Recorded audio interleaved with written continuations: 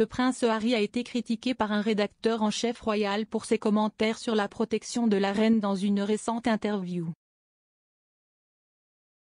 Le prince Harry, 37 ans, a semblé lancer un avertissement voilé aux personnes les plus proches de la reine disant qu'il voulait s'assurer que sa grand-mère était protégée et avait les bonnes personnes autour d'elle dans une interview avec l'émission Today de NBC. Le duc de Sussex n'a pas précisé s'il faisait référence à des aides royaux ou à des membres de sa propre famille. Le rédacteur en chef du Daily Mirror royal, Russell Myers, a critiqué Harry pour ses commentaires ayant éclipsé le 96e anniversaire de la reine. S'adressant à Today Extra, M. Myers a déclaré, de toute évidence, il y a des gens à qui nous parlons. Je peux vous dire qu'ils sont absolument dépourvus de la façon dont la situation s'est déroulée et pourquoi ne le serait-il pas? Ils ont offert à Harry et Meghan à peu près tout ce qu'ils voulaient sans avoir ce genre de modèle à moitié dedans, à moitié sorti qui était totalement irréalisable. Mais ils sont essentiellement partis avec la bénédiction de tous et ils ont continué à bafouer l'institution qu'ils ont laissée derrière eux.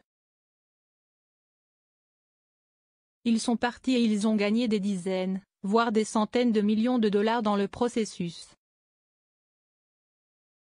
Ils ont une vie très douce en Californie et ils ne peuvent tout simplement pas lâcher prise et continuer avec ces commentaires barbelés de l'autre côté du monde.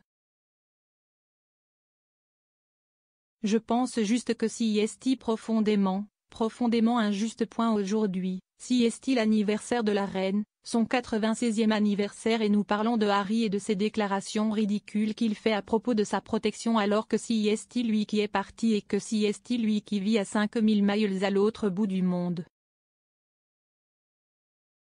Point Harry a été interrogé après avoir quitté un lieu à la haie, où il avait regardé un événement de dynamophilie, et alors qu'il était chassé sur un buggy électrique, un journaliste lui a demandé s'il avait réussi à souhaiter à la reine, qui a eu 96 ans jeudi,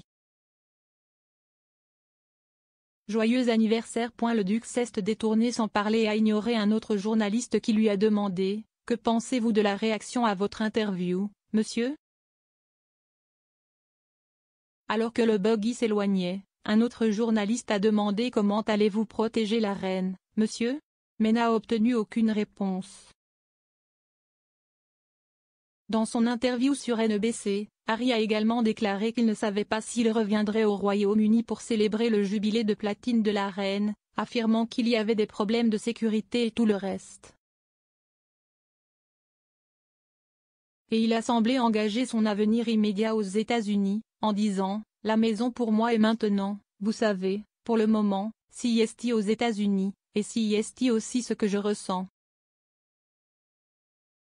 La reine a été saluée comme une inspiration pour tant de personnes au Royaume-Uni et dans le Commonwealth par la famille royale alors qu'elle célébrait son 96e anniversaire dans son domaine de Sandringham. Le chef de l'État a reçu les vœux du prince de Galles, de la duchesse de Cornouailles et du duc et de la duchesse de Cambridge alors qu'elle marquait son anniversaire en privé.